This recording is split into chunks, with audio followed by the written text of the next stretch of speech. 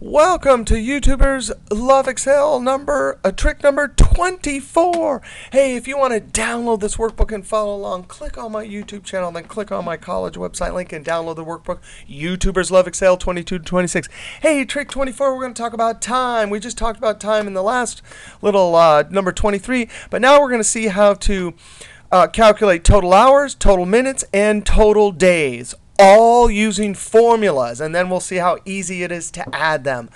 Notice also that there's different formats here. Here I have a format with hour, minute, seconds. Here I have a format with just hour, minute, and PM. Here I have military time. Formulas never look at formatting. So if I was to highlight this whole thing and convert back to general format, Control 1, click on General. I'm going to click Escape.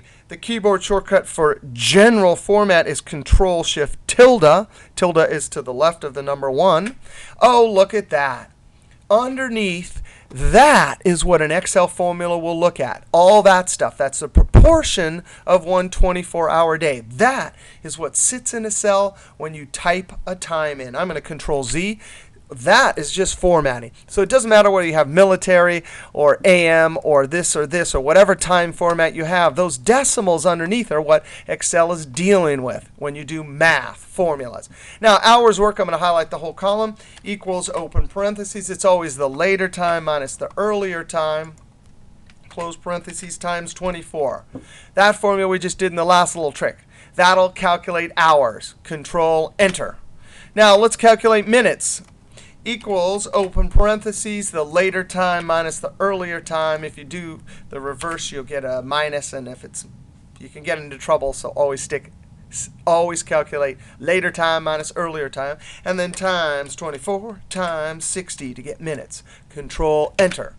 Days worked is very simple. It's just